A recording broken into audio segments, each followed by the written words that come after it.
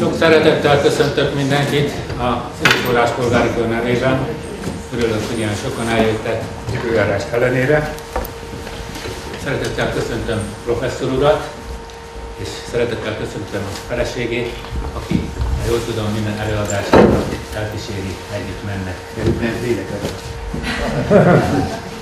Én is így vagyok vele, ezért is örülök, mert én is a feleségemmel szervezzük most már tíz év ezeket a rendezvényeket. Hol ő kísér engem, hol én őt, és ám inkább én őt.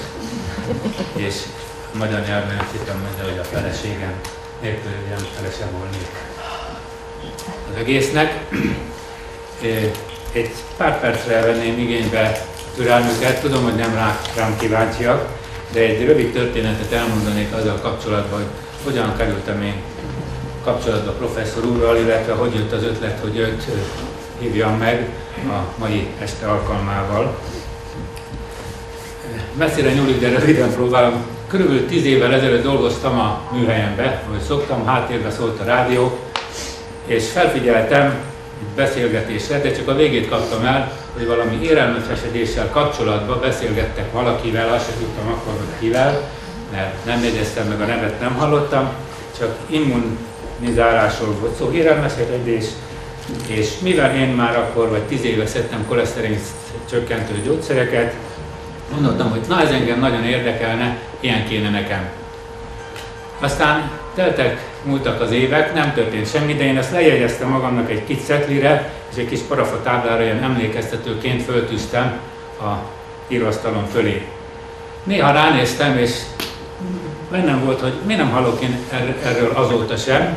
Lényeg az eltelt körülbelül tíz év, amikor szintén a műhelyemben dolgoztam, és nem a rádió szólt, hanem jött egy telefon, hogy egy úr szeretné megvizsgálnom a lengés csillapítóját, mert azt mondta a szerelő, hogy valószínűleg az kopog, de ha lehet, akkor ő kiszerelné, hogy úgy olcsóbb lenne, mondom igen, és nézzem meg. Hát jött, segítettem én is neki, csomagtartójából kipakoltunk, egy nagy-nagy szivacs volt benne, innen kezdtem el beszélgetni vele, hogy mivel foglalkozik. Hát sportmasször, és jár különböző országokba, különböző egyesületekkel, és innen a beszélgetés, befejeztük a munkát, üzlet nem lett belőle, mert nem volt semmi baj a gátlónak, viszont mivel nem kértem pénzt, mondtam, hogy ha gondolod, akkor már tegeződtünk, akkor a feleségem itthon van, egy kicsit csontkovácsold már meg, mert minden baja van a derekának, bokájának, stb. Följött, meg, megtettem, amit kellett, nagyon ügyesen, egyébként nagyon ügyes ember, és utána elkezdtünk beszélgetni, sokat beszélgettünk az ő családjáról is, felesége sajnos nagyon beteges, én is, stb. És innentől derült ki, hogy ő nagyon jól ismeri a professzor úrnak a munkásságát, és tulajdonképpen engem arra az útra elvezetett a több közül is, amelyek révén én odáig eljutottam, hogy utána két hónap múlva túl voltam ezen a urán.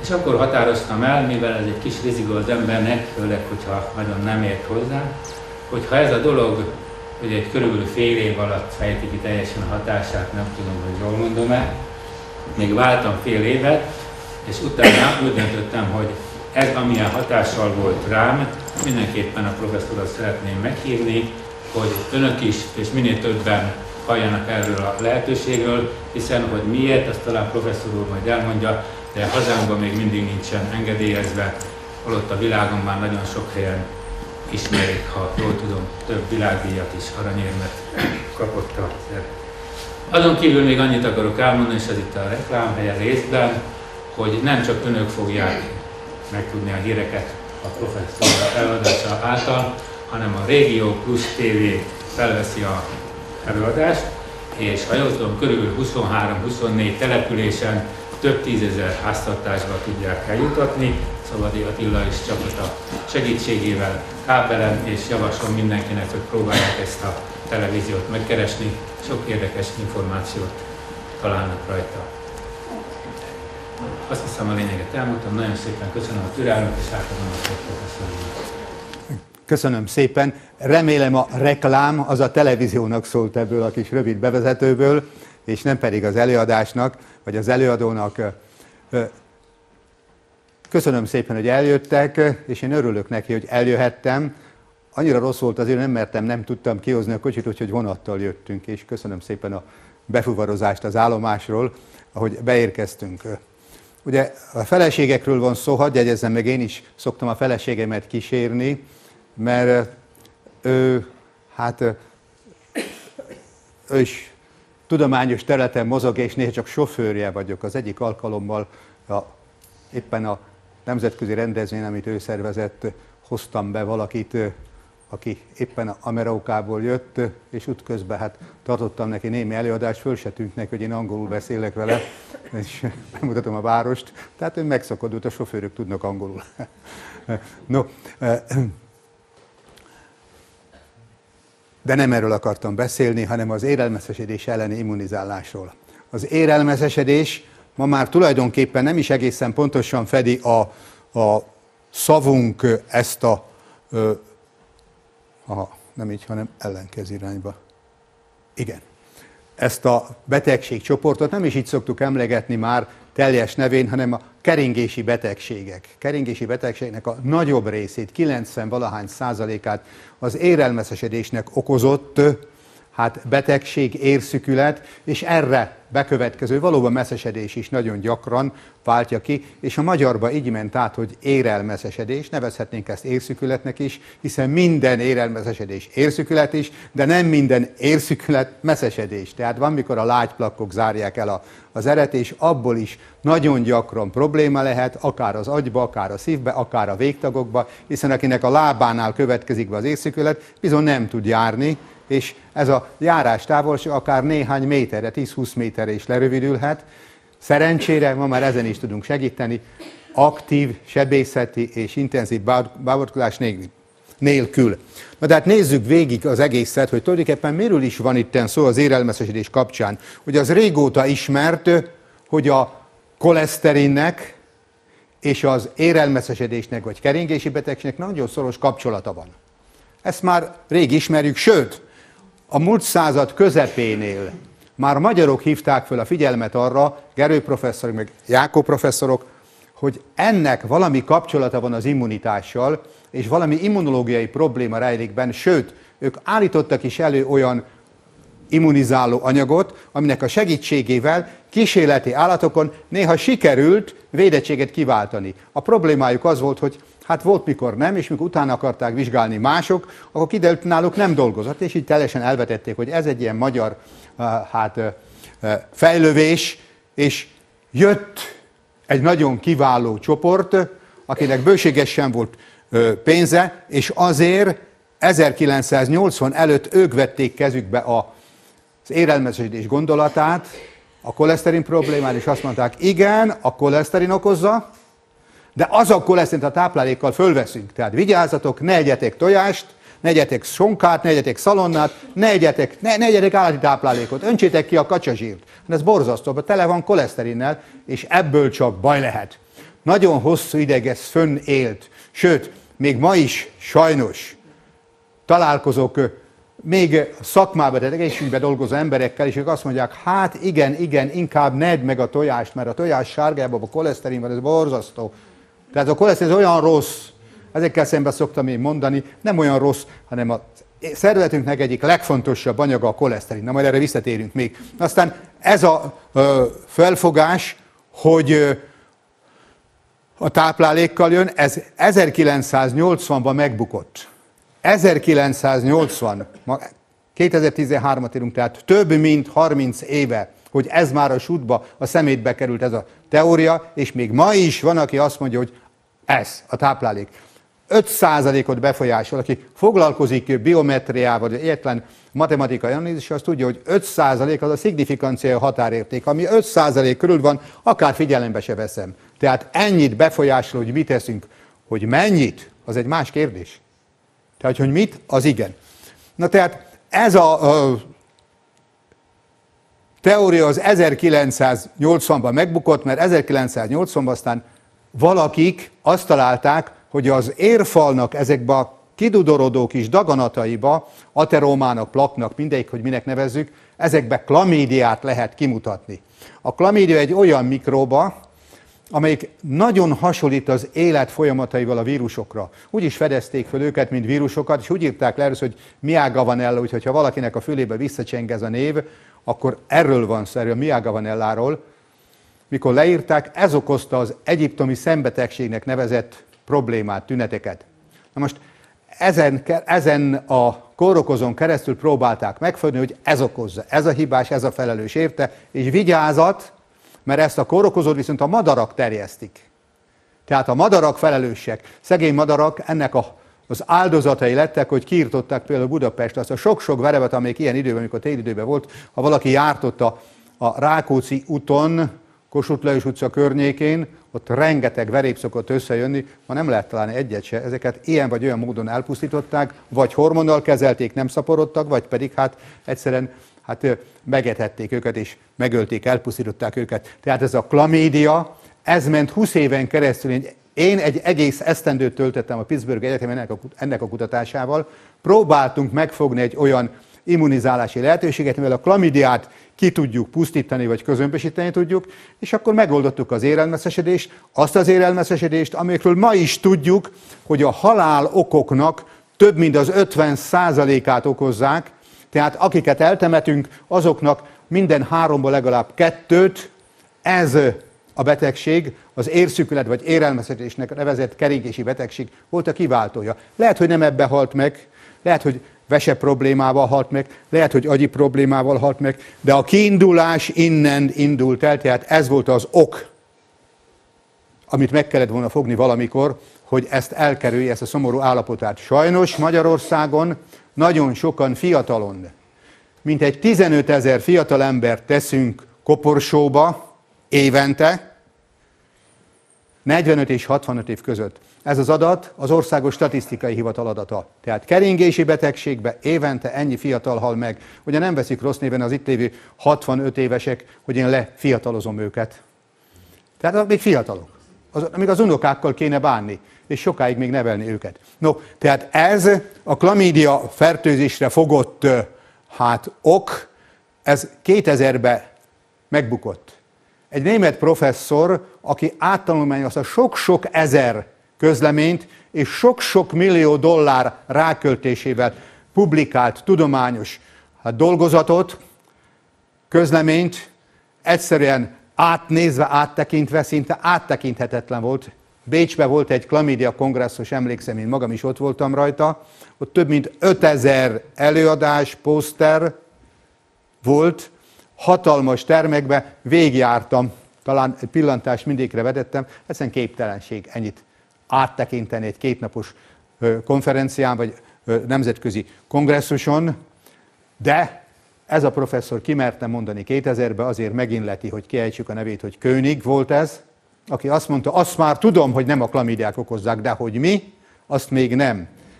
Tovább teszi még, füzi, ezért kitárt karokkal kell fogadni minden olyan új kutatási eredményt, amelyik az érelmeszesedésnek a valódi okát kutatja és próbálja föltárni.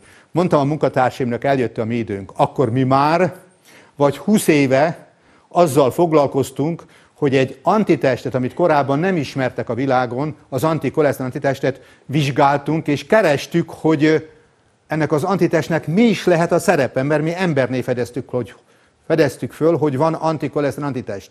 És a kutatás során kiderült, hogy ennek nagyon fontos szerepe van az érelmeszesedésnek nevezett keringési betegség kialakításába. Na de erre majd később visszatérek még. Tehát König óta, 2000 óta nem a klamídiák, és akkor jött egy másik hatalmas nagy erő, egy hatalmas, hatalmas nagy érdeklődési kör, aki azt mondta, igen, tudjuk, hogy nem a klamídiák okozzák. Mi tudjuk, hogy ezt a magas koleszterin szint okozza az érelmeszesedést. Hiszen, ha megnézzük, hogy kinek van érelmeszesedése, és kinek magas a koleszterin szintje, akkor azt látják, hogy egy 80%-os korreláció van, egy párhuzamosan futnak. Hát egyértelmű, akkor ez okozza. Csak mindjárt kezdet kezdetén ott volt a probléma, hogy volt, akinek alacsonyabb volt a koleszterin szintje, és volt érelmeszesedése. Volt, akinek magasabb volt a koleszterin szintje az általuk meghatározott határnál, és nem volt érelmeszesedése. Ez már akkor fölkeltette a gyanút, hogy azért itt nem lehet biztosan minden olyan rendben, Aztán, amikor megtaláltuk az antikoleszterin antitestet, és tisztázódott, hogy ennek milyen szerepe van az érelmeszesedés kialakításába, rájöttünk arra, hogy nem a jelenléte, hanem a hiánya az váltja ki az érelmeszesedést. Na, majd erre még visszatérek. Tehát 2000-től most már 13 éve megy ez, és erre, hogy ezt meggátolják, ezt a magas koleszterin szint kialakulását, koleszterin csökkentőket vezettek be. Ilyen gyógyszereket vezettek be. Most ezzel szemben állítom, hogy a koleszterin szintet nem lehet csökkenteni. Tehát ilyen lehetőségünk nincsen. Persze van, a koleszterin a, a táskánkban van, ez a por, bedobjuk a tűzbe, lehet csökkenteni, mert elég. De hát a szervezetbe belül az nem nagyon megy. Tehát, mikor megtaláltuk, és a kutatásaink alapján ugye rávilágítottunk arra, hogy mi is lehet az oka, akkor mi kimondtuk azt, hogy nem a magas koleszterin szint okozza az érelmeszesedést, az igaz, hogy ez együtt jár vele. De hát valamikor régen is mondtak ilyeneket, amit nem fogadott el sokáig a társadalom. Ugye biztosan emlékeznek még rá, hiszen kisgyerekként is tanultuk azt, hogy volt idő, mikor emberek azt mondták, hogy nem azért van világos, mert följön a nap. Csak akkor, mikor ezt kimondták, akkor azt mondták, hát nézd meg, hát ilyen hülyeséget hogy lehet mondani? Látod te is, hogy följön a nap és lenyugszik. Elül a tengerbe, aztán másnap megint föl kell a nap. És mikor erre valaki azt mondta, hogy nem, a nap ott áll egy helyen, a föld fordul el. Hogyan a föld? Ez egy nagy sikság. Ez nem lehet. Tehát az ok az volt, hogy följött a nap, és világos lett, és lement azért lett sötét. Mikor valaki azt mondta, ez nem oka, mert a nap egyhen, az ok az, hogy a föld fordul el. És ezért akkor ugye mágiára kellett menni. Hát majdnem itt is mágiára visznek bennünket. Azért, mert azt mondjuk, nem a magas koleszterin szint, mert a magas koleszterin szint okozta élelmeszesedés, ez valakinek érdeke, hogy ezt kimondja, kinek? Azoknak, akik ezt akarják, akik a napot akarják megkötni, ugye? Tehát nem az okot keresik, hanem egy vele párhuzamosan együtt előforduló hát jelenséget. Az előbb azt mondtam, nem lehet a koleszterin szintet csökkenteni azoknak, akik itt vannak és szedik a koleszterin csökkentőt, és csökken a koleszterin szintjük, azoknak hadd mondjam el, hogy nem történt nálam semmi olyan nagyobb baj, hogy én ilyet mondok, azért, mert ez a koleszterin csökkentés valóban nem koleszterin csökkentés, hanem koleszterin termelés gátlás. Ha tehát van egy nagy hordónk, amelyikben mondjuk jó bor van, hogy ott a koleszter, a bornak a szintje állandó legyen, azt kétféleképpen lehet elérni. Ha nem nyúlunk hozzá, a szintnek a csökkentését pedig úgy lehet elérni, hogy hagyom, hogy igyanak belőle, de nem öntök utána sose, akkor lecsökken. Ugye érthető. Tehát, hogyha nem, ad, nem engedem, hogy beöntsenek, akkor lecsökken. És az ilyen kocsmából elfogy a bor, és többen nem jönnek az emberek.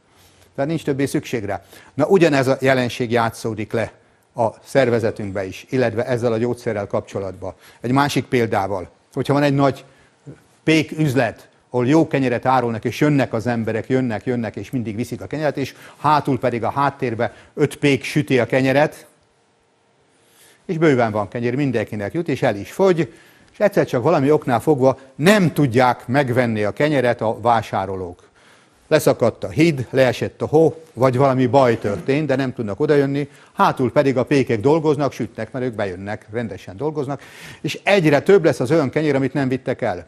Ha másnap is csak ezt árulják, az nem jó, mert akkor elmaradnak az eddig vevők is. Ez a tehát bemegy a raktárba. Ott szárad a kenyér a raktárba. És amikor már, már tele van a raktár, már szinte dudorodik a fala, akkor mit lehet csinálni? Két lehetőség van. Vagy szerzek oda vevőket, akik elviszik a kenyeret és megeszik és erősek lesznek tőle, vagy pedig átmegyek a, hát, a hátsó területről, sütik a kenyeret, és ott látom öt pék dolgozik, puff, puff, puff, három fejbe csapok belőle, és akkor csak kettő dolgozik. Azt már elviszik. Tehát agyon verem a pékeket. Tehát aki előállítja a kenyeret. Hát ezt csinálja most az antikoleszterin, vagy a koleszterin csökkentő gyógyszer. Nem lecsökkenti, mert azt nem lehet. Ilyen enzim nincs az egész élővilágban. Egy kivétel, majd erről még szólok. Tehát nincs ilyen enzim, tehát agyon kell verni azokat az enzimeket, amik előállítják a koleszterint. Van egy szkvalin hosszú molekula, föltekerik, és a koleszterinnek a gyűrűje elkészülnek, de ettől kezdve a koleszterinhez az élővilág nem nyúl hozzá. Ilyen nagy böcsbe tartja.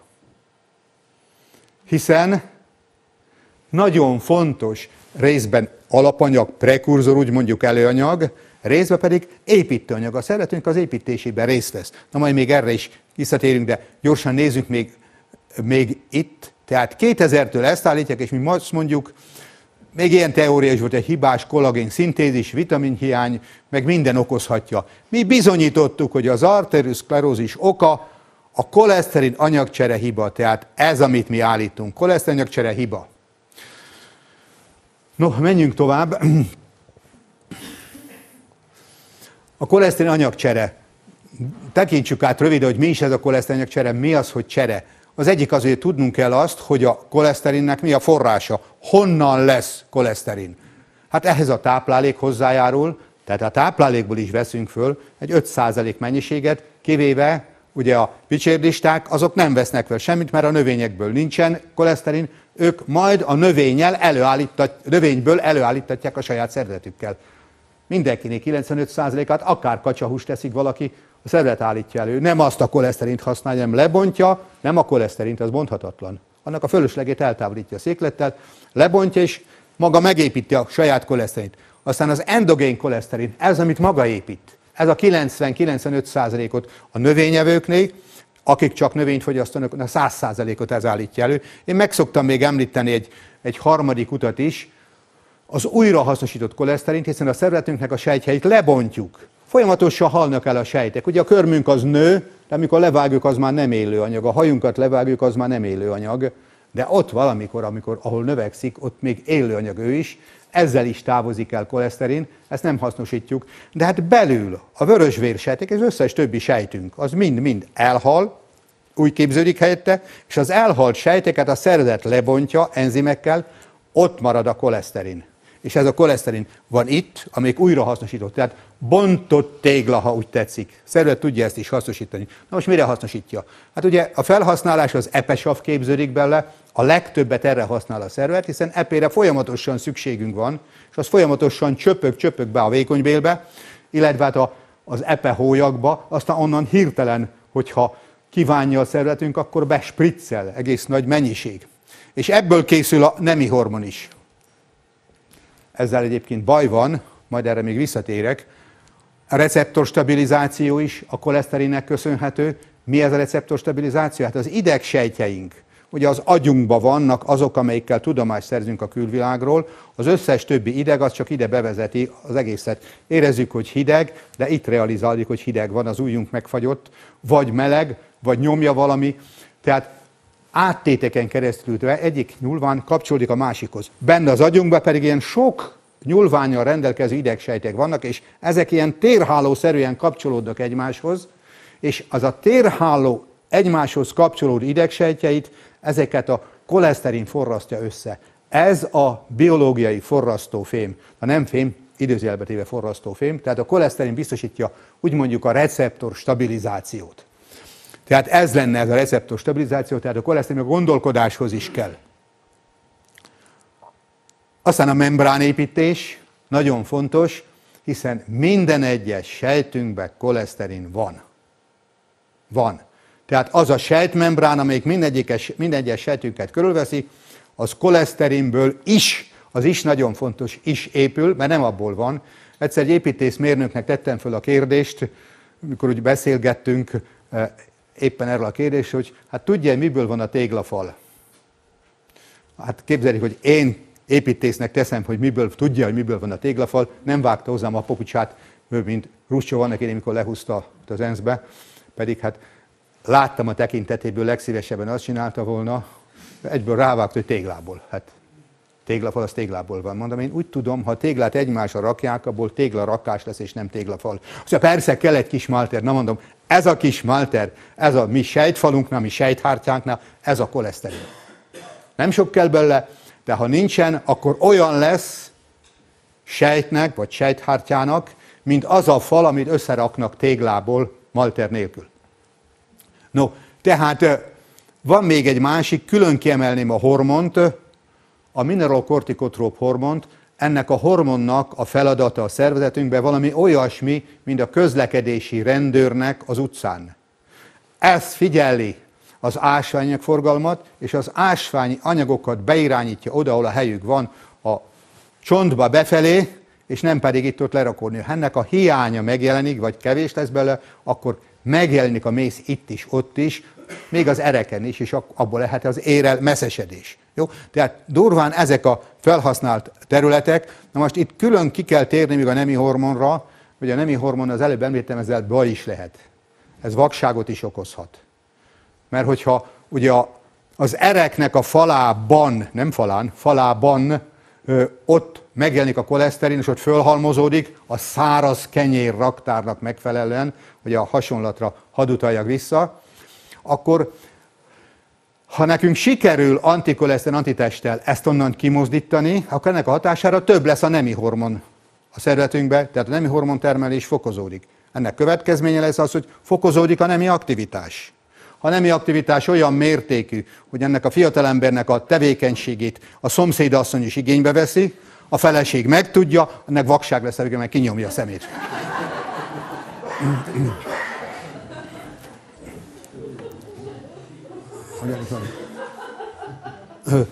Most ugyan egy-kettőt már elmondtam a megdöbbentő információkról, de hadd térjek még vissza hozzájuk.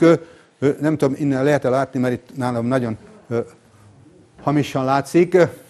Tehát a megdöbbentő információk között van egy ilyen, az elsőt olvasom, a tápláléknek nincsen hatása az arteroszterózisra, ott van mellett egy 5 erről beszéltem, 5 a vérünkben nincsen oldott koleszterin. Tehát amikor azt mondják, hogy meghatározzák a vér koleszterin szintjét, akkor olyat határoznak meg, ami nincs.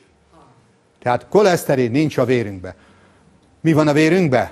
HDL, LDL, ILDL, VLDL, meg van még másfél, és a két legfontosabb, amit meghatároznak a HDL, meg az LDL. És erre mondják a HDL, hogy jó koleszterin, az LDL azt mondják rossz koleszterin. Na mi is ez? Ugye ez egy angol kifejezésnek a szavainak a kezdő betűje HDL, High Density Lipoprotein. Aki itt angol tanár, segítsen nekem, mit jelent ez? Azt jelenti, magas, sűrűségű lipoprotein. Lipoprotein. A lipoprotein, ha magyarra fordítjuk, azt mondjuk, hogy zsírfehérje. Lipoprotein. És ennek a HDL-nek, amire azt mondjuk, hogy jó koleszterin, mit gondolok, hány százaléka a koleszterin ennek a jó koleszterinnek? Na, kinek van, mersz egy számot mondani? Öt. Öt. Hallottam onnan is ötöt, meg nyolc. Minden. Öt százalék. Az szignifikancia érték, amiről az előbbit utaltunk, az öt kezdődik. 5 százalékot figyelembe veszek, vagy nem veszek figyelembe. 5 százalékot emelnek a fizetésen, olyan nagyon nem leszek gavallér tőle. Ha ennyit elveszítek, még akkor se fogok elveszni tőle. Tehát 5 százalék. Tehát a jó koleszterinünk az a HDL mindössze 5% koleszterin tartalmaz. Az LDL, az a rossz koleszterin, amelyik egyébként nem rossz koleszterin, ugyanolyan koleszterin van benne, mint a HDL-be. Hogy miért rossz, majd visszatérünk rá. Ennek egy kicsit több koleszterin van, ennek a koleszterin tartalma 5 10 százalék. Tehát nincsen oldott koleszterin. Közben meg is beszéltük azt, hogy nincsen jó és rossz koleszterin, mert a HDL-be és az LDL-be ugyan olyan kémiai szerketű koleszterin van, az, hogy miért rossz, erre majd visszatérünk később, az erek falára nem rakódik koleszterin. Tehát amikor azt mondják, hogy hát igen, ott vannak a plakkok, rá vannak ragad, és hogyha ezt hozzányúlunk, akkor az ott leválik és elmegy. Nem válik le, mert nincsen rajta. Benne van az érfalban, az érfalnak a daganata. Ez olyan, mintha valaki kap egy nagy fülest, aztán másnap ilyen képpel jelenik meg. Mit csinálunk ilyenkor? Veszünk egy bicskát és visszafaragjuk olyanra, mint milyen tegnap volt? Nem. Hanem szépen elkezdi borogatni ezzel, azzal, és aztán visszamegy, és egy hét múlva már, kettő múlva teljesen olyan lesz, mint volt. Na, ezt kell csinálnunk az ereknél is, tehát nem leválasztani. Az egy más kérdés, amikor már teljesen hát be akarja zárni az érnek a lumenét, a vérnek az átfolyását, akkor egy érsebész beavatkozik, mielőtt még teljesen elzáródnak, gondoljak arra, hogy valakinek 80-90%-os a karotiszának az elzáródása, akkor jön az érsebész, és akkor kitisztítja, megpróbálja kitisztítani. A szerencséje van túlélni, ha nincsen szerencsé, elindul valami följebb, aztán ott fönn hát megakad, és esetleg azt mondják, Istenem, a műtét sikerült, a beteg, igen. No, tehát nem rakódik rá. Az érelmezésokon nem a magas koleszterin szint, erről beszéltünk, ugyanúgy nem a magas koleszterin szint, mint hogy a világosnak sem az az oka, hogy a nap följön. elfordult a Föld. És itt pedig nem azért magas a, szóval azért lett érelmezés, mert magas a koleszterin szint, hanem azért magas a koleszterin szint, mert a szervezetbe fölborult a koleszterin anyagcsere. Az előbb megnéztük, hogy mi van ott, majd erre visszatérünk még egy. Tehát nem káros a koleszterin, egyik fontos vegyülete nem véletlen az, hogy az egész élővilágba nem lehet találni enzimet, amelyikkel valamelyik szervet a benne lévő koleszterint lebontaná. Tehát ilyen nincs. Az, amire azt mondják, hogy koleszterin csökkentő, megbeszéltük, ugye, hogy azokat az enzimeket veri agyon, amik építik a koleszterint. Kivétel egy hely, ahol van koleszterin csökkentés, ez Magyarországon a Blick című tudományos folyóiratban lehet olvasni. Megjelent egy ilyen hirdetés, nézzék meg. Visszafelé, ha valaki vissza tud ebbe keresni, ott van egy ilyen hirdetés, hogy jelenkezzenek oltásra, a bőrük alá koleszterint oltanak, és ennek a hatására a májban fokozódik a koleszterin lebontása. Itt tanultam meg, hogy egy helyen van, a blikben van ilyen. És még azt is hozzáteszik, ami valahol szégyen, hogy ez az oltás az ogyi ilyen meg ilyen számú engedélynek a birtokába történik. Ez vagy az, oginál, az ogyinál valaki nem tudja a biokémiát, vagy pedig a Blicknél nem tudják azt, hogy nem szabad olyan engedélyszámot fölni, amit nem adtak meg. Ez a kettő lehet. Én nem kutattam, hogy melyik az igaz, de hát akármelyik akkor is szégyen. A koleszterin szint egyénenként eltérő. Legalább akkora variációt mutat, mint az embernek a magassága.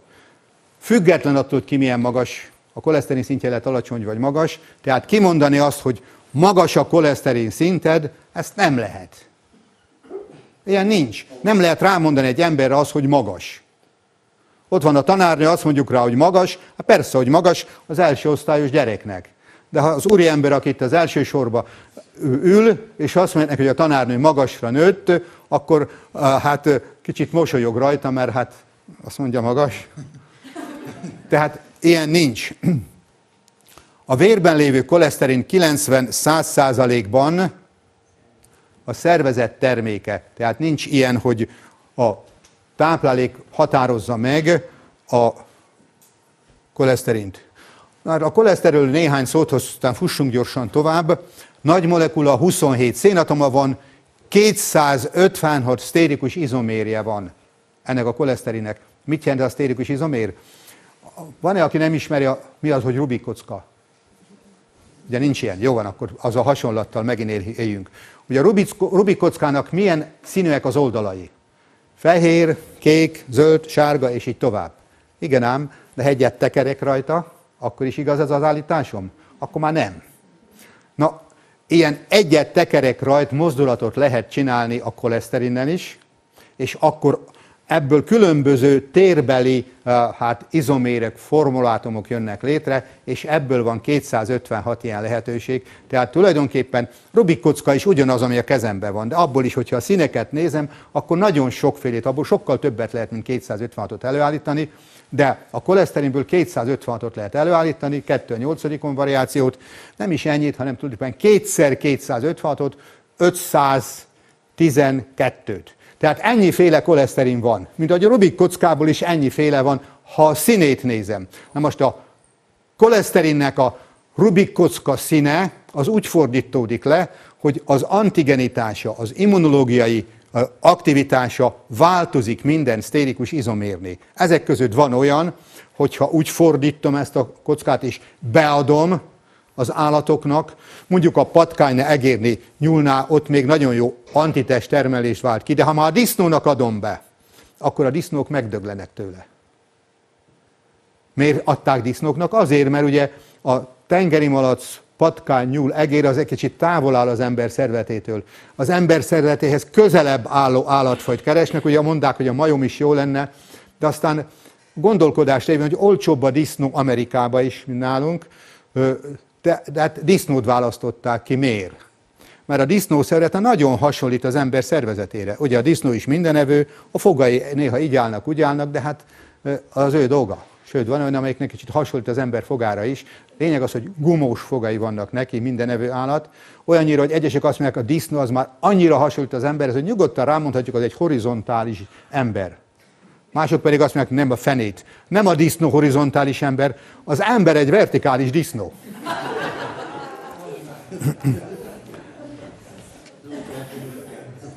Na ez a, az izomérek, ezek közül csak egy van ilyen bioformáció, ami bennünk van, vízben nem oldódik. Többek között ez az oka annak, hogy a vérünkben nincsen koleszterin, annak ellenére, hogy nagyon sokan szeretnék, hogyha mondjuk nem víz lenne az alapanyag, hanem mondjuk alkohol. Az első lépéseket egyik másik ember meg is teszi ennek érdekébe, de hát nem lehet. Enzimek nem bontják, nem antigén, antigénné tehető. Ez az antigénné tehető, ez, ez a fordítás, tehát az izomérnek a megkeresése, Megcsinálták az amerikaiak is. Mi is, úgy nagyjából párhuzamosan dolgoztunk, és nagyon szép eredményeket kaptunk tengeri malacon, nyulon, egéren. Én patkányon nem dolgoztam, ők dolgoztak patkányon is, de nyulon nagyon sok állat bánta ezt, hogy én dolgoztam velük.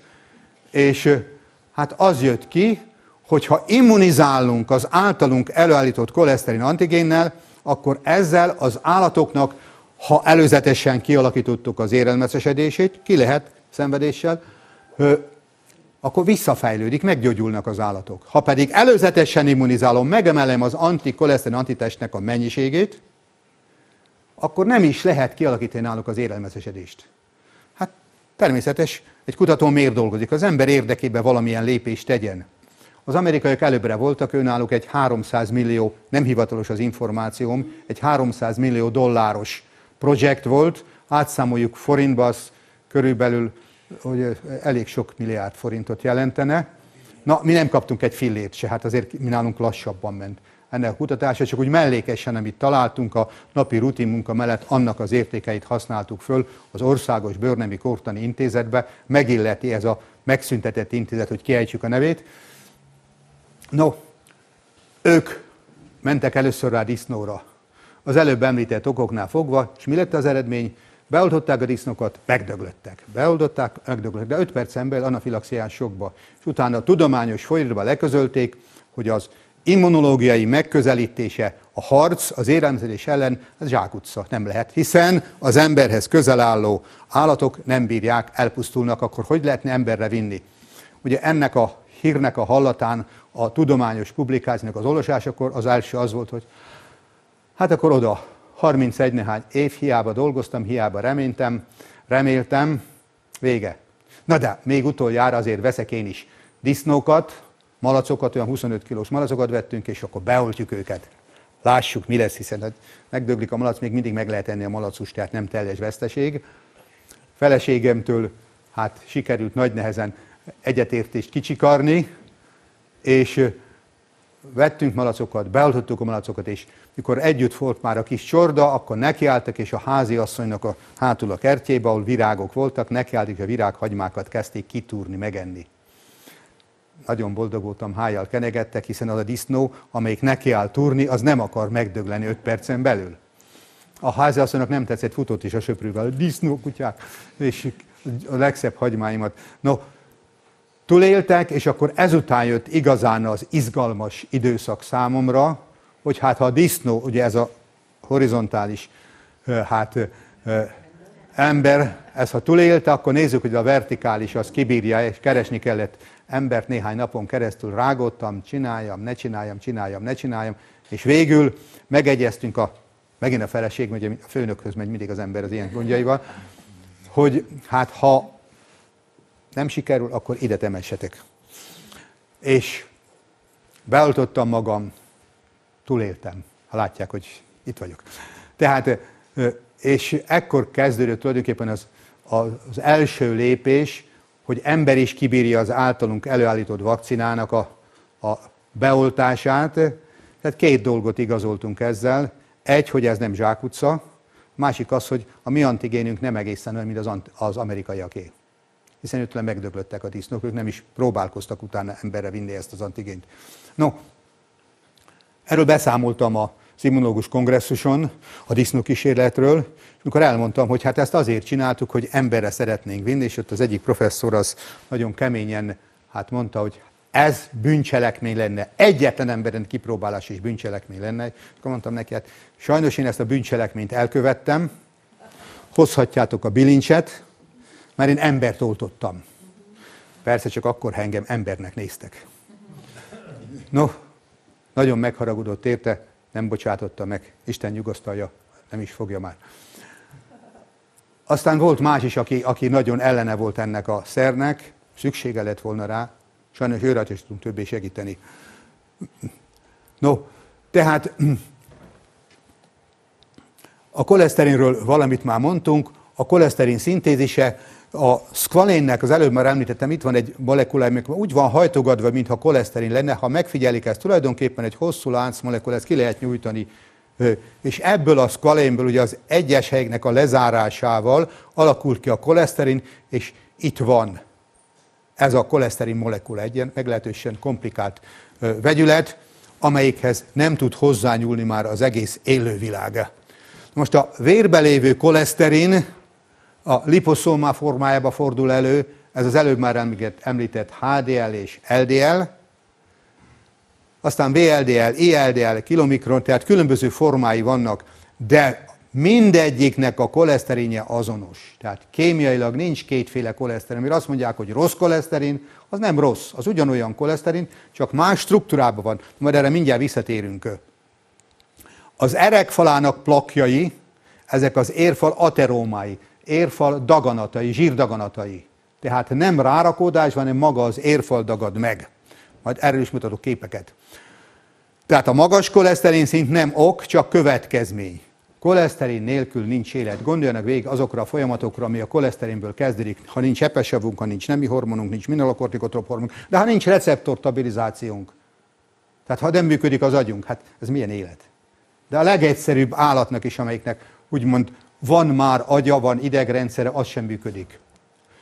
A koleszterint a szervezet önmaga szintetizálja, tehát nem innen-onnan vesszük, hanem mindenki magának állítja elő. Na, egy képet, hogy pontosan megértsük, hogy mi is a különbség a HDL és LDL között. Ugye ez lenne itt a HDL, egy kisebb kis részecske, kis gömböcske, amelyikben megfigyeljük a koleszterin molekulák, ezek belül vannak, és az egész egy fehérje burokba van beágyazva. A felületén fehérje van, ez a lényeg. A fehérjét a sejtek receptorai, a sejt membránjai meg tudják fogni, és beemellik. Aztán a sejtmód belül már elbánik vele, mert mindet le tud bontani, a koleszterint nem. A koleszterint vagy fölhasználja, úgy mondjuk, hogy szubstituálja, kiegészíti valamivel, és akkor lesz belőle az előbb már említett különböző anyagok, vagy pedig éppen membránépítésre használja, oda löki, hogy te neked pedig itt őrt kell állni ezen a membránon. A másik, az LDL, ott pedig a felületen helyezkednek el a koleszterin molekulák, és ez csak akkor használható, hogyha a szervetbe elég sok ilyen antikoleszterin képződik, és ezek az antitestek mindegyik megkeres magának egy koleszterin molekulát, és ha az egészet betakarja, akkor tulajdonképpen itt is fehérje burokba lesz, és ettől kezdve a rossz koleszterin is ugyanolyan jó koleszterin, mint a másik, tehát attól függ, hogy van-e elég antikoleszterinetest. Ha van, akkor semmi baj, akkor ez az anyagcsere folyamat pörög. Ha nincsen, akkor baj van vele, mert akkor egyre több LDL lesz, és ezt az LDL-t valamilyen formában el kell távolítani a szervezetből. Mert ha nem, annyira besűrűsítjük a vérünk, hogy baj van vele. Most erre is van a szervezetnek egy mechanizmusa. Vannak a szervezetünkben ezek a fagociták, a falósejtek, ami mindent fölfalnak nem is tudom, hogy melyik állat lenne az, amelyikhez hasonlítani lehetne, nem számít neki, csak legyen ott, amelyiken antitest van, meg antigén, látom én ezt, immunkomplex, föl kell falni, mert ezt nem bír vele a szervezet, nincs elég antitest, fölfalja. Na ott is mi történik? Leemészt mindent, de a pocakjába ott marad a koleszterin, és amikor már olyan sokat evett, és a pocakja megtelett remésztő vakulum, elnézést a pocak kifejezésért, megtelt, tele van. Érzi, hogy itt a vég, jön a halál úgy mondjuk, hogy apoptotikusan programozott sejthalál szerűen meg kell halni, hiszen a sejtjeink nem élnek annyi ideig, mint mi, sokkal hamarabb elhalnak. Akik itt vagyunk, valamennyien négy hónapnál öregebb vörösvérsejtje senkinek sincsen. Azok, hogy 120 napot kibírnak, tovább nem, akkor elhalnak. Hogy mégis ugyanannyi a vörösvérsejt számunk, az azért van, mert folyamatosan képződik, folyamatosan halnak el. Tehát ott is van egy körforgalom, és minden egyes sejtnek ott kell legyen a membránjába a koleszterin, megfelelő mennyiségben, mert ha nem, akkor nem tisztességesen működik az a vörösvérsejt se, azzal is baj van. Biztosan hallottak ilyenről, hogy valakinél vérképzési hibák vannak, az egy betegség csoport lehet akár. Na, ezekből aztán már kiderül, hogy mi okozza az érelmeszesedést.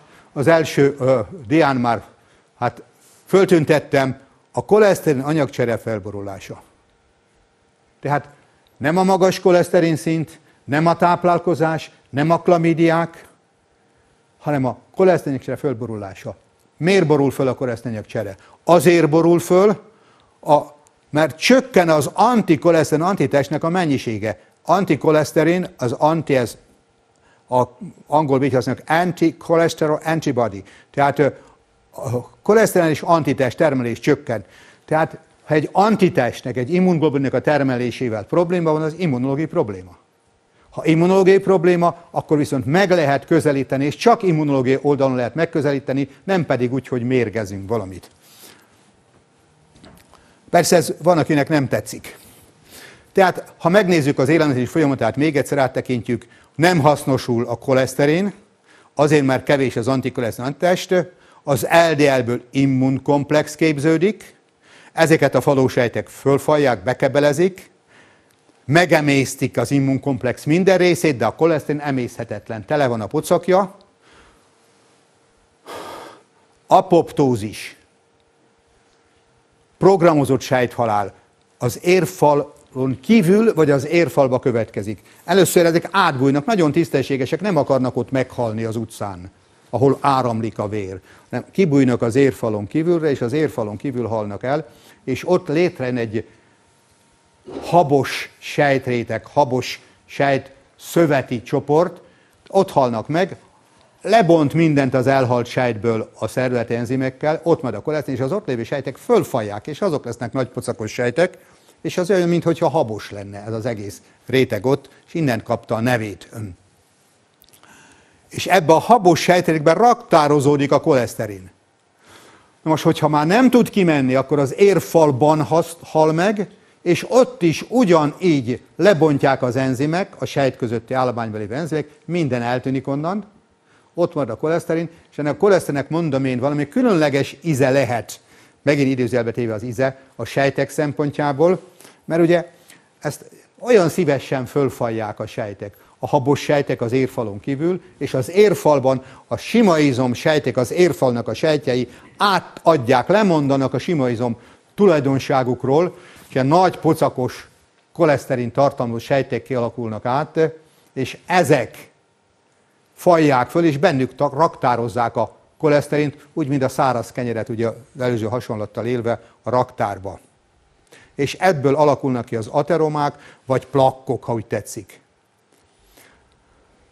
Na most a tápláléknek és a koleszterinek cserének az összefüggését azért nem vethetjük el teljesen, mert azt is lehet igazolni, hogy valóban a táplálékkal fölvett sok koleszterin az kialakíthatja az érelmeszesedést. Na de nem úgy, ahogy mi táplálkozunk. Nem úgy, ahogy ránk mondják, hogy a magyar konyha az egy ilyen, ilyen, ilyen nem tudom milyen rossz összeállítású valami. A fene megette. Aki ilyet mond, az nem, nem evett még jó magyar ételt. De ha én megemelem a koleszterin szintet, mondjuk olyan mértékbe, hogy egy emberrel naponta megethetek 200 tojást. Minden nap. 19 héten keresztül 200 tojást. Van egy valaki, aki egyszer, egy alkalommal megeszik nekem 200 tojást, mert azt én állom. Szóval képtelenség. Most ennek a 200 tojásnak a koleszterinjét perszes test-súly arányba bevisszük kísérleti állatokba, kialakul náluk az élelmezésedés. Tehát egy ilyen provokációval ki lehet alakítani, hát ez azért kell, hogy vizsgáljuk azt, hogy ezt az élelmezésedést el lehet tüntetni akkor, ha immunizálunk. Vagy még ezt az élelmezésedést is ki lehet védeni, meg lehet előzni, akkor, hogyha előzetesen megemeljük az antikoleszterin test szintjét. Nem lehet még ennyi koleszterinnel se fölborítani, hogyha tisztességes mennyiségben ott van az antikoleszterin atitest.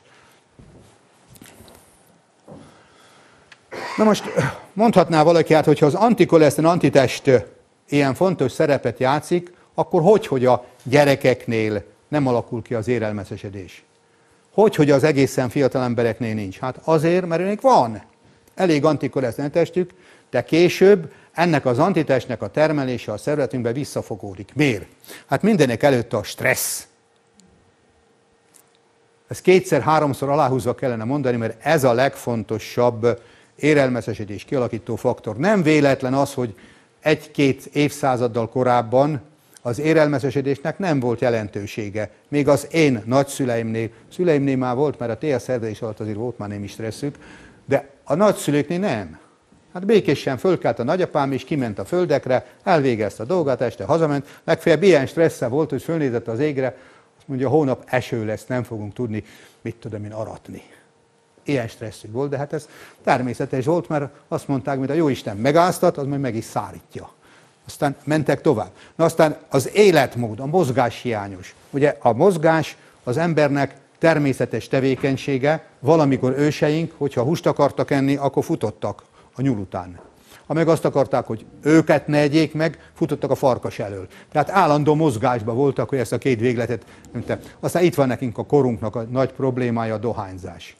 A dohányzással egy csomó mérget beszedünk, és ez is gátolja az antikolesztenetesnek a termelését.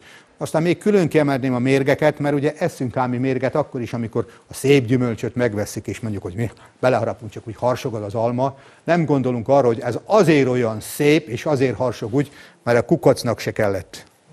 Annyi rajta permet, szerencsétlen elpusztult az is, és a bombák meg a baktériumok ugyanúgy.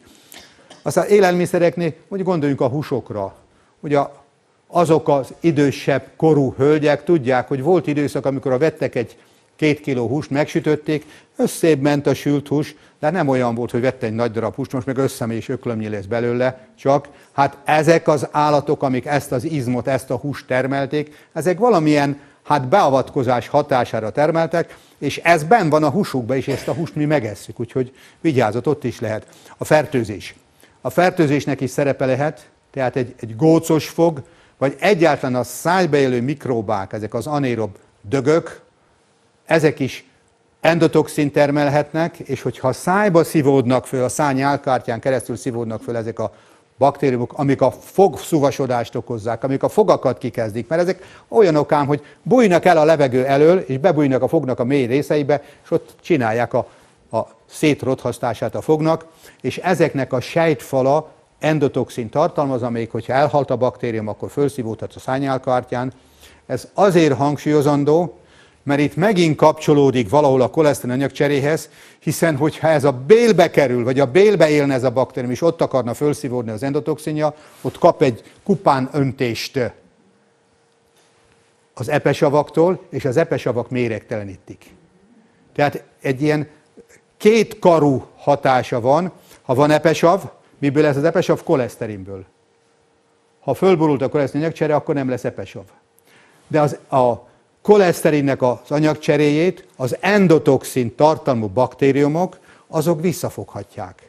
Tehát szinte farkába harapók így, hogy hol fogjuk meg ezt az egész kérdést, mert amikor beindul, akkor már magát generálja az egész. Tehát ezeknek mindnek, mindnek fontos szerepe van az érelmeszesedés kialakításában. Most az érelmeszesedésről beszélünk, akkor nézzük meg, mi is ez az érelmeszesedés. Ezek a felvételek, amiket látnak, ezek emberből vannak patológus barátom, mikor azon a, a talányon rágottunk, hogy hogy lehet az, hogy immunizálunk az érelmeszesedés ellen, bekövetkezik a kedvező hatás, és egyes embereknél elmerik a cukorbetegség. Kerestem én a biokémiai összefüggést, hogy mint, így talán, találtam is valamit, de nem az igazi. Hát ilyen gyorsan az nem következik be. És aztán beugrott, Kérdezem tőle, hogy szoktátok-e vizsgálni azt az eret, amelyik a hasnyál mirigyet látja el vérrel? Hát persze. Ott láttatok-e érszükületet? Hát persze, szinte mindenütt. Van, aki tudná nekem ebből néhány metszetet készíteni, hogy, hogy tényleg lássam szövettenleg is, hogy mi van. És készített, és ennek a sorozatából van ez a néhány felvétel, amit maguknak szeretnék mutatni. Miről van szó? Az érfal így néz ki, ez volt az eredeti érfal. Tehát ekkora volt a lumen, ahol a vér áramlott be a hasnyálmirigyhez. És akkor itt kezdett az érfalba kialakulni ez a bizonyos hát habos réteg. Itt nincsen semmi rárakódás, ugyanúgy festődik minden része, tehát ez magának az érfalnak a daganata. És ez a daganat olyan mértékű lehet, hogy akár el is zárhatja az érnek az útját, de ha már csak ennyire, mondjuk ez, ez lehet fele, vagy talán még annál is több az elzárt réteg, kevesebb vér jut a hasnyálmirigybe, akkor az ott lévő Langerhans-sziget sejtek, amik a hasnyálmirigynek a részei, ugye, csak sokkal érzékenyebbek, mint a többi sejt, nem termelnek inzulint. Ha nem termelnek inzulint, ott a cukorbetegség. Ha pedig ki tudjuk tisztítani ezt az immunizálással, újból vért kap, és ha még élnek a sejtek, termelik az inzulint, és eltűnik a cukorbetegség. Vagy pedig visszahúzódik valamilyen mértékben. Na néhány képet szeretnék fölvillantani ezzel, erről a szövettani részről. Nézzék meg, itt ugyanaz a jelenség, itt már talán még a harmada sincsen, ami itt is van egy rész. Ezeket az átszakadt részkedek a metszeteknél a kés nem volt elég éles, hogy finoman metsze azt a mikronos vastagságú szeletet. Ez, aki nem otthonos a szövettamba, hadd mondjam el ezt, képzeljük el az eret úgy, mintha az egy kolbász lenne, vagy egy szalámi.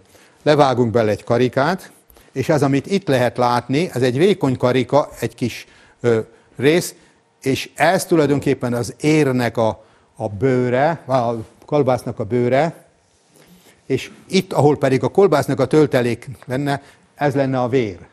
Tehát a maga a bőr, a kolbász bőr, az dagadt meg, és abban már nem fér bele töltelék, nem fér bele a vér. Csak hogy, hogy mégis tudják értelmezni. Egy másik, ugyanez egy másik festékkel is nagyon szépen lehet látni, és itt lehet látni, hogy ezek a sejtek a felületen is ott vannak, és mindegyik teles tele van koleszterinnel. Az eredetleg ilyen, ilyen tömör, sima izom volt. Pedig olyan, mintha habos lenne ez a réteg is. Egy másik felvétel, még egy utoljára itt is szinte a negyed része marad csak meg.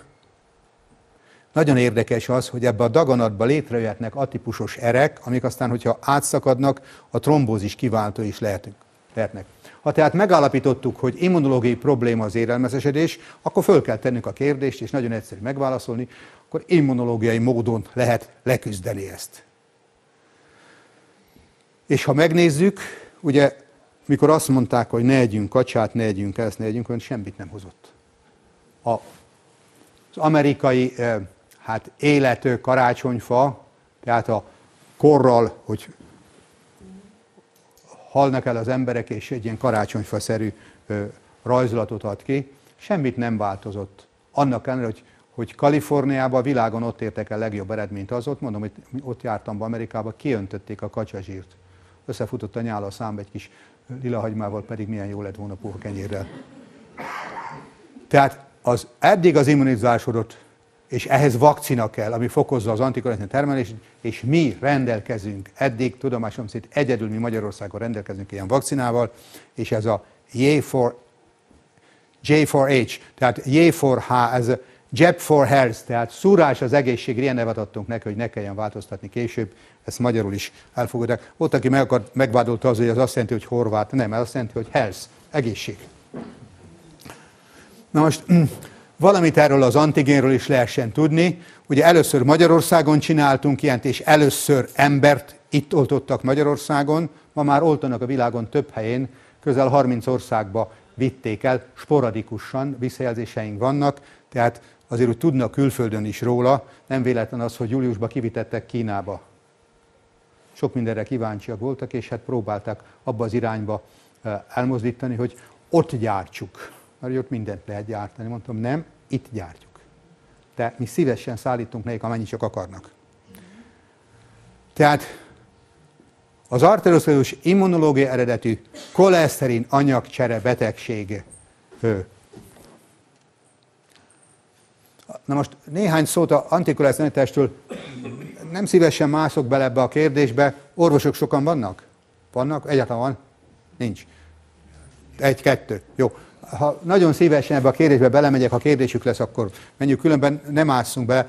Tehát a lényeg az, hogy mi a 80-as években itt Magyarországon fedeztük fel, én Loes diagnosztikával foglalkoztam, és annak során derült ki, hogy nem Loes-es eredetű, magas szeropozitivitású betegeknél kimutattunk antitesteket, és mikor megkerestük, hogy mi is ez, azt ez koleszterin.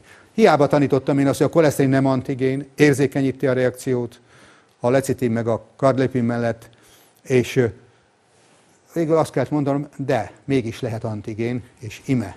Milyen fontos antigén van belőle.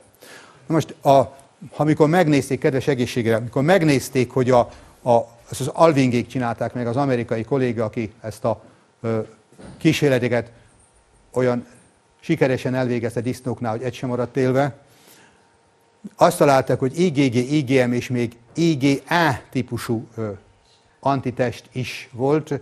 Ez már szakmai, azt hiszem ezzel nem érdemes, hogy belefúj, belebújjunk, hogyha orvosokat érdekli, szívesen visszatérek hozzá. Most miért ilyen soká találtuk meg? Azért, mert hő érzékeny, és ugye a, a szerológiai vizsgálatoknál, amikor ellenőket vizsgálunk, akkor úgy kezdtük, hogy inaktiváltuk a szérumot, és akkor inaktiváltuk az antitestet is. Tehát ez egy hő-szenzitív antitest, és azért maradt ilyen sokáig. Tudjuk róla, hogy kofaktor nem kell hozzá, hogy kötődjön, és a, a, a beta-hidroxid csoportjához kötődik a koleszterinnek. Megint szakmai. Az antikoleszterin termelése, tehát immunizálással fokozható, ezt publikáltuk a Medical Science Monitorba 1998-ba, négy évvel azután, hogy nekünk is engedték, hogy publikáljuk, hogy van antikoleszterin antitest, hiába még találtuk meg, hogy 5-6 évvel hamarabb, mint az amerikaiak, de akkor azt mondták, ilyen hülyeség, antikoleszterin antitest. Ha lenne, megzavarná a receptor stabilizáció, és nem tudnánk gondolkodni. Te már nem is tudsz, ha ilyen hülyeséget állít, azt mondták nekem.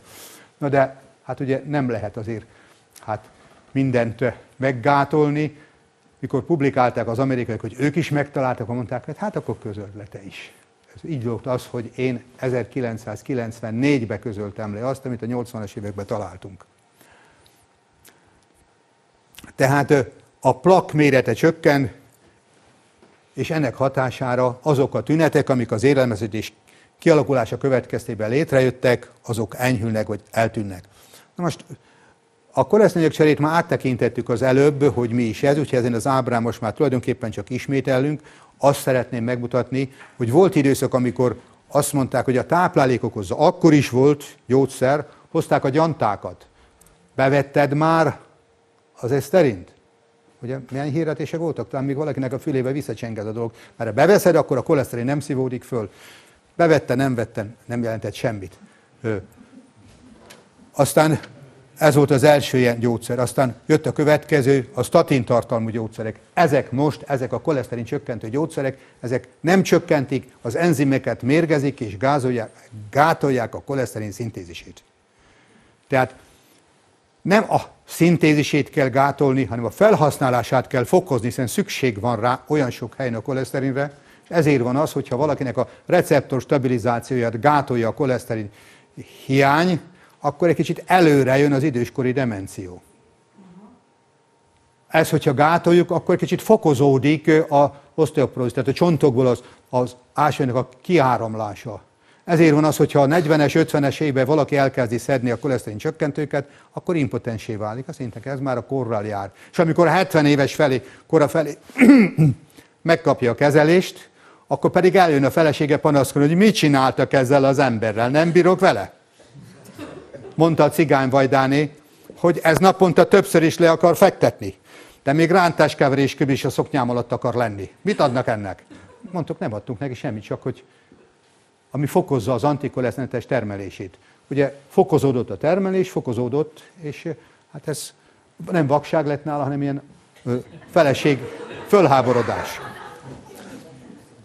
Alapvető dolog, tehát az epesav csökken, Elmondtuk akkor a zsíremésztés csökken, zsírbordó vitaminokkal lehet baj, a nemi hormontermelés csökken. Ilyenről is hallottam hírt, hogy valakinél szedették a 40-es éveiben, mert magas volt a koleszterin szintje, és szedették vele a statinokat, olyan helyen dolgozott, ahol ha megvolt és nem szedi, akkor kirúgják.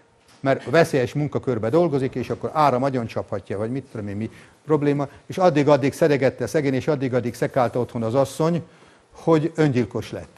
Tehát lehet egy ilyen hatása is nem az immunizálásnak, az immunizálás hiányának és a koleszterin csökkentésnek. A receptor stabilizáció is lejjebb megy, a membránépítés, tehát a membránépítésben baj van az akár melyik sejtünknél előfordult a rendellenesség ennek a szedésének a hatására. És a mineralokortikotrop hormonnak a, a csökkenése pedig ugye a csontból a mésznek a kitakarítását hát hozza, nem a foszfor, nem a kalcium, hanem a mineralokortikotrop hormonnak a hiánya, az pedig koleszterinből képződik. Most ezzel szemben, hogy összehasonlítjuk az általunk bevezetett immunizálást, akkor azt találjuk, ugye, hogy a, a, az immunizálás hatására fokozódik még az újrahasznosított koleszterinnek a felhasználása is, Nem érinti ez az endogén koleszterin szintézis, hadd termelje a szervezet. De ennek a hatására több lesz az epesav, több lesz a nemi hormon. Erről beszéltünk már, a receptor stabilizáció is növekszik, tehát azok, akik már demensek voltak, a sarokba leült, és, és ott töltötte az egész napját szegény néni, 84 évesen van egy ilyen esetünk, és amikor megkapta az immunizálást, akkor ő ugyan úgy gondolta, hogy ő neki semmi se változott, csak a lánya mondta azt, hogy anya, hogy mondhatsz ilyen, semmi se változott. Azért egész nap ültél a sarokban, meg mosol, főzöl, takarítasz, meg ugráltad az unokáit. Azt mondja, miért? Én régen is ezt csináltam. Az igen, csak az az időszak, mint áttaludta volna ezt az egészet. Tehát az antikoleszterin antitest növelésének a hatása javítja a keringést, védd a fertőzéssel szembe. Tehát, hogyha jobb lesz a keringésem, akkor a fertőzéssel szembe is. Epesav termelést fokozódik, a zsírboldoló vitaminok, beszéltünk róla, a puffadás. Tehát a vékony bélnek a sterilitását, azt jó részt, az belefolyó epének köszönhetjük. Az epe meg tudja ölni a baktériumokat, még a TBC kórokozóját is úgy állították immunogénné, vagy immunizálásra felhasználhatóvá, hogy epén tenyésztik. A BCG oltás így készül.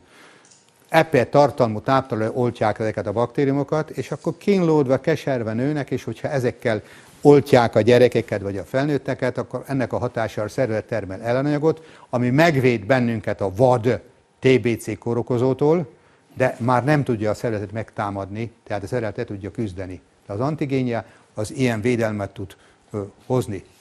Növekszik a hormontermelés, beszéltünk róla, a megtermékenyülést fokoz, erre majd egy állatkísérlet mutatok be, de embernél is ugyanez a hatás megfigyelhető, épp sejtmembránépítés, idegi szellemi védelem, úgyhogy ezeket is. Tehát a koleszterinnek nagyon-nagyon széles területen, említettem, hogy állatkísérletben, ha megnézzük, ennek a csoportnak a megtermékenyült petének a, a száma lényegesen különbözik attól, amit immunizáltunk. Ugyanannyi koleszterinje volt. Többszöröse a megtermékenyült petéknek a száma, tehát fokozza. A normál érték ez volt, amelyik nem kapott koleszterin. Ezeket telezabáltattuk koleszterinnel, és mikor immunizáltuk, ilyen hatása volt, tehát kedvezőbb lett a hatás. Emberi szervezetbe is vizsgáltuk, nem kísérleteztünk emberre, az tilos. Kipróbálni lehet. Tehát emberen is megnéztük a különböző hatásokat, és azt találtuk, hogy a kontroll egészséges embercsoportban az átlag az körülbelül 60 körüli értéket mutatott az antikoleszterinetes titere, míg a szklerotikusoknál, ahol kialakult az élelmeszesedés, az körülbelül 15-nél van az átlagérték. De azt lehet látni, hogy milyen nagy a szórás. Tehát nem lehet itt se azt mondani, ennyi az antikoleszterinetes titere, ez aztán jó. Ennyi, ez már nem jó. Egyénileg, ha megnézik az egészségesnek, itt volt a, a legalacsonyabb érték, és őnek elég volt, elég volt ahhoz, hogy megvédje az élelmezéstől, míg a másiknál ilyen magas is, az is kevés volt. Tehát a két méteres ember is lehet beteg, meg a 160 cm-es is lehet egészséges. Tehát nem annak a függvénye ez. Ez persze csak hasonlat, mert a koleszterin, az antikoleszterinetes titer értékek, tehát a mennyiségének a változása óriási hát, szórás mutat egyedenként. Összefoglalva, minden ember vére tartalmaz antikoleszterin antitestet, az antitesthez kötődik az úgymond rossz koleszterin csoporthoz, nem kötődik a jó koleszterinhez, az HDL-hez.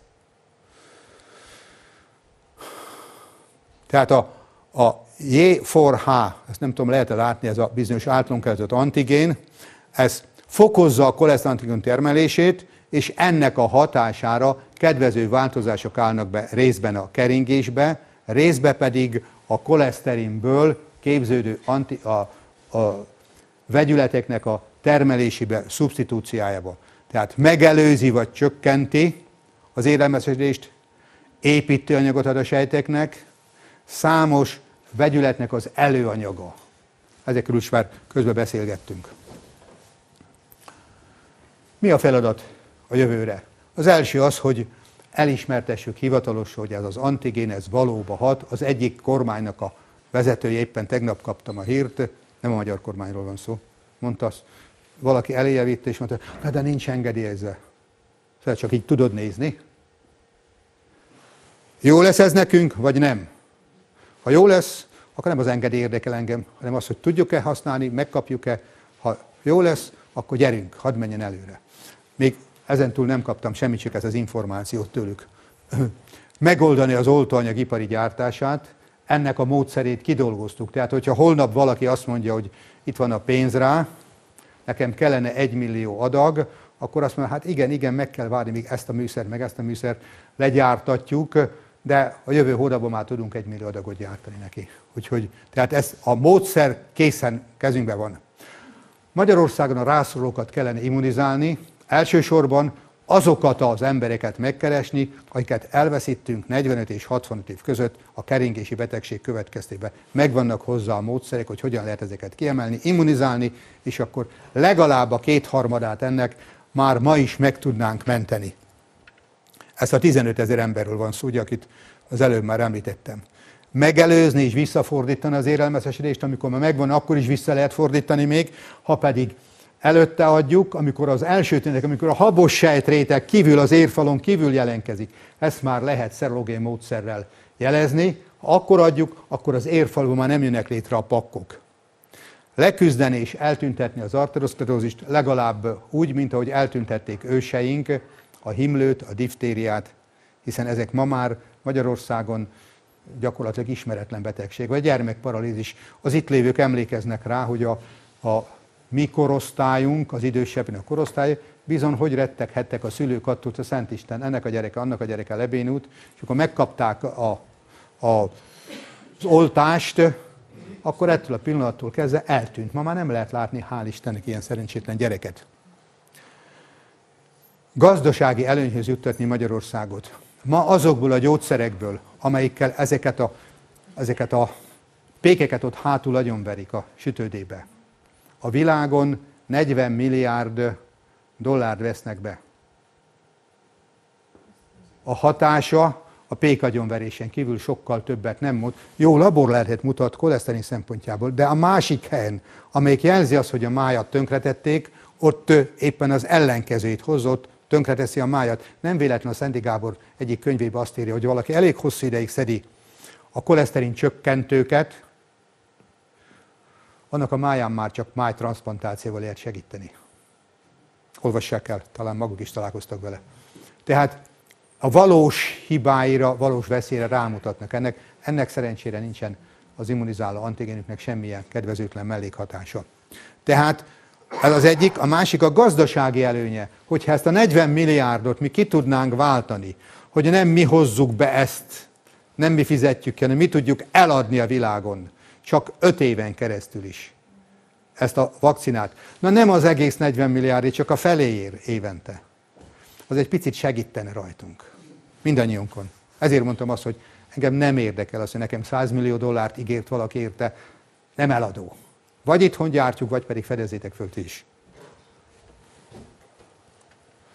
Na most ezt csak azért verítem le, mert néha megvádolnak azzal, hogy igen, de ezt titokba tartod, hogy misztikusan játszott. Nem tartjuk titokba. Kiállunk vele mindenki elé. Elvittük a Génius Európa kiállítása 2004-ben, ott aranyéremmel díjazták.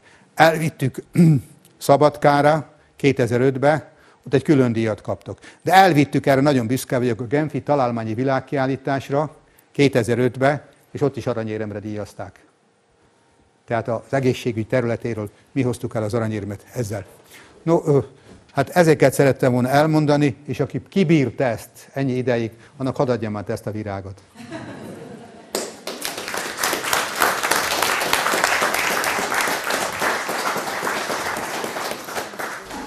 akik járnak a rendezvényünkre, azok, bocsánat, hát azok tudják, hogy minden egyes alkalommal úgy zárjuk, mivel mi a Moldvai Csángó Magyar Oktatást intenzíven támogatjuk, hogy az első lépésben a saját két kísérletem által készített kaláccsal, a borról ugyanezt nem tudom elmondani, pálinkáról el tudnám mondani, hogy a férjem által készített volt, tehát azzal megköszönjük a vendégünknek, hogy építette szívünket, lelkünket, és egy csángó köszöntéssel fejezzük be.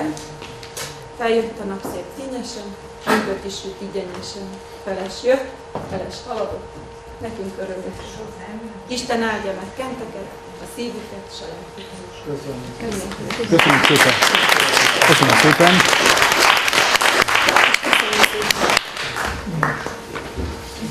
Köszönöm szépen. Köszönöm szépen.